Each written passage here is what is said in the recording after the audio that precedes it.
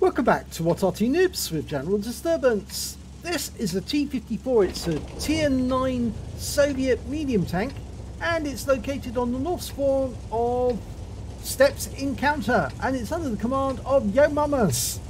Now the T-54 100mm gun, very thick armour at the front which is incredibly well angled, 120mm and uh, well basically it's a very good main battle tank game started. One of the bad things about this tank is the gun depression unfortunately. Virtually non-existent. As you can see it's got that front bit which is just well as we narrowly past the Scorpion G. It's um, that lip at the top of the uh, front of the vehicle actually stops the gun being depressed below a certain angle but it's also the fact that it's got a very flat roof and that means the gun can't tilt upwards anyway even if they wanted to. But apart from that it's very fast very nippy and very capable. Now the gun is capable of 320 alpha. This is the uh, top version. And YoMamas is taking it straight to the cap area.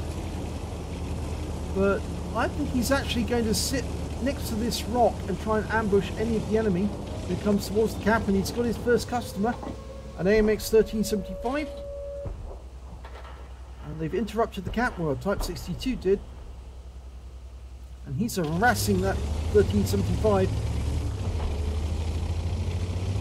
and it looks like he's going to get the first kill yes he did but YoMamas has decided to push up and get to the cap area. So does this Lorraine. He's coming in fast.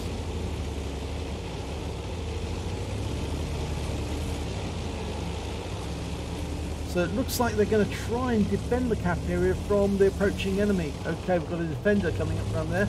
And the 252U, which is the standard version, which is the one I prefer. Not so garish as the other one. And he got a nice penetration there for 320. Bounced around for return. Now that's got the 122mm gun, the 252. One into the side, 330. High roll. You get another one onto that defender. Well, he tried. Didn't get on that one. needs to be careful. The gun's pointed this way now. Low plate, but didn't go through. Oh, now, well, that 252U went down, and now we've got that defender on the corner, and our M103 is facing off against him. And in fact, the Type 62 very cheekily has gone around the corner, and he's trying to attack the defender head on, and we're trying to get him some help. That's 355. He's now two shots. You get one in through his rear or through his side. Yeah. Oh, we got we were lucky there. He took damage just before we shot, and so we got that kill. Type 62's happy. He, uh, he ticked affirmative there. I think they saved his neck because uh, that defender was well prepared to take him.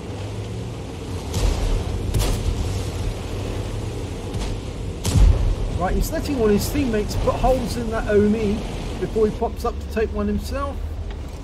No, he didn't get it through needs to get closer. And the Oni's gone. He was killed by the uh, Lorraine 40 ton. Now, he's moving south. I like doing this actually because uh, you can actually use these hills to shoot at the enemy from long range. And there's the enemy RT. It's the Lorraine 15550. Oh, what a shot! Very long range shot there on the move overmatches the armour on the Striv. 326, a low roll. At least I think it's a low roll. Is that a low roll? No, it's a high roll. Six under. Shows how crap I am sometimes for remembering the uh, the damage values, the alpha values. Ah, oh, now that's Striv. He's not looking our way, and we put one into his side. Now that's a low roll, and he's now paying attention to us So we're going to need to use this ridge line and we're just showing our top bar turret which is the bouncy turret bounces a lot of rounds we're moving up That Striv knows where we are. And now they're all bouncing around from the Striv, but we, uh, the SU, but we put one back into him. That'll deter him from doing it again. He's turned to face his, our teammates, and we got him out. Now, Striv, this next one. Probably be better actually going up above him and shooting down on him. And I get the impression that's what YoMamas is going to do. We're two behind the enemy at the moment, but we could change that very shortly. Oh, lovely one. Yes, it's another kill. Three kills now. There's the enemy RT on the next one, the M12.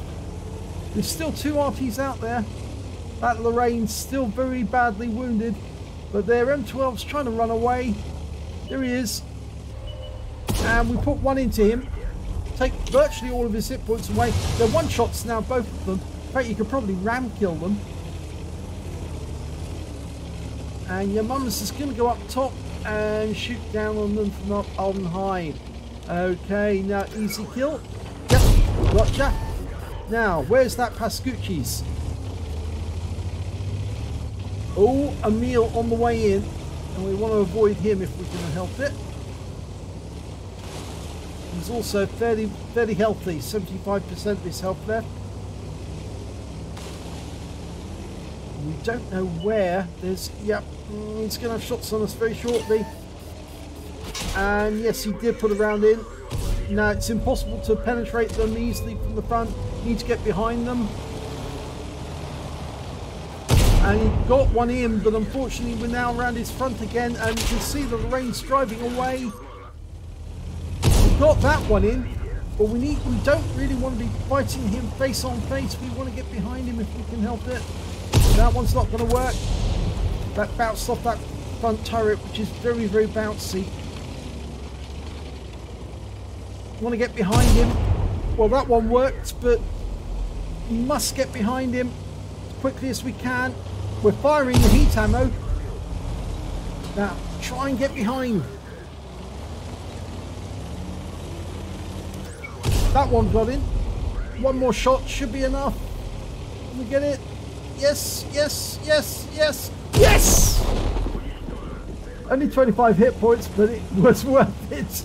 Yeah, the best thing you come up against in a meal like that is get behind them because uh, it's very easy bounce shots off that front turret or the armour. Um, I mean, he had to switch to the heat ammo to do that, but it's allowed the Lorraine to get away, and now he's all alone facing three enemies. He's got five kills, so one more and he's got a top gun. And he's still loaded with the heat ammo. The three opponents he's up against, well, he only really needs the heat for the Object 430.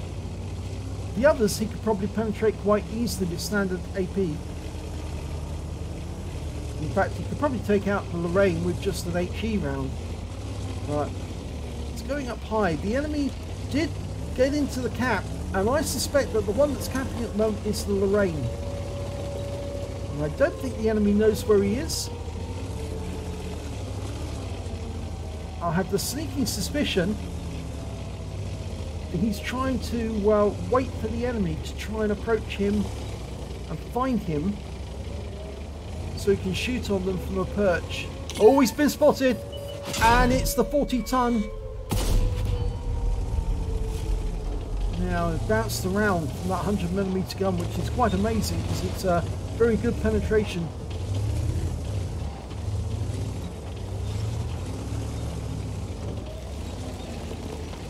But he can't stay where he is. He has to move. It is um, an encounter game, so obviously the uh, he's got much longer before the enemy caps out.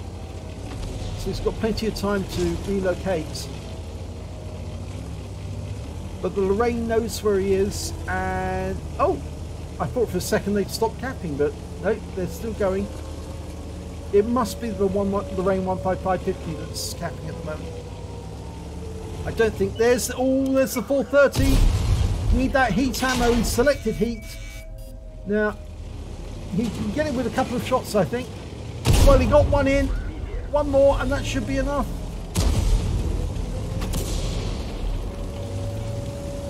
Oh, yes, Top Gun. But he's still got that Lorraine 40 ton to deal with. and he's reloaded the heat round. Here comes the Lorraine. Oh! That 100mm gun is just sometimes too good. And that's the end of the game. So, Top Gun. Let's have a look at the end of battle stats. It's an ace tank of a YoMamas and the T-54. He got a sharpshooter badge, a fire effect, a duelist, and a bruiser medal. But he did pick up an epic medal. He got a Top Gun. And in fact, actually, it's the first ace tanker he's had in the T-54. Um, win 8 for the game, 9,945. Super Unicum level, well, he did engage in quite a few duels with superior tanks, which was quite astonishing. Uh, that Emil 2, uh, really not the sort of tank you should be tangling with in a T-54 medium. It's a heavy tank, but uh, he was handling it with the uh, heat ammo. Let's have a look at team score. Well, there you go. He didn't get the highest damage. That went to the Lorraine 40 ton. He picked up an Oskins medal in a high caliber. He got 5,409 hit points of damage in total. Uh, has managed 5,037, so he wasn't that far behind.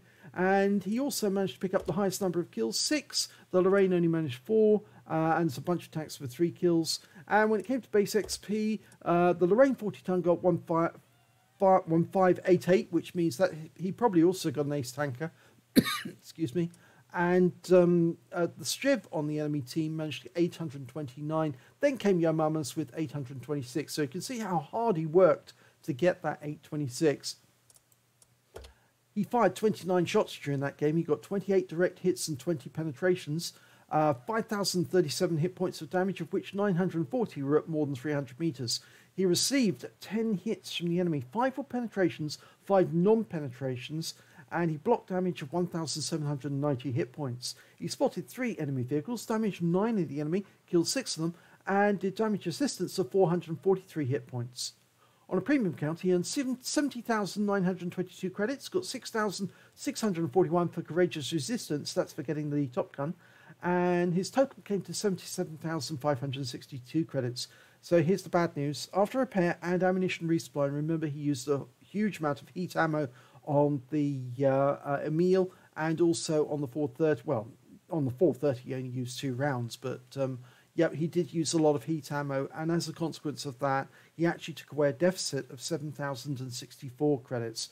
But um, yeah, I think actually it was a very good round considering what he was trying to take on um, superior opponents in a medium tank. Yeah, very difficult, especially when you consider the 252 and the Defender are very, very difficult to get the through, except when you can shoot at their sights. And luckily, he, they did give him their sights to shoot at.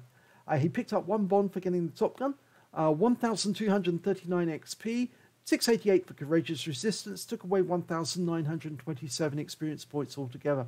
So nice little ace tanker there. Again, as I said, it's uh, difficult to take on superior opponents. He is only a tier 9 medium, and was up against some very, very heavy tanks uh, to kill the Emil 2, the Defender, and the 252. Uh, but he handled himself very well considering, and uh, it's just a pity in the end that uh, he just couldn't um, save his hit points on the Emil and get behind him to attack him from behind. I think actually if he'd managed to run away from the Emil uh, and shoot at him from far enough away, then it might have made a big difference to him surviving the battle. But uh, in the end, uh, well, just lost too much hit points. But it was a good game all the same, and if you enjoyed it, please give it a like and do subscribe to our channel, and hopefully it'll be your replay that I'll be featuring in the next video.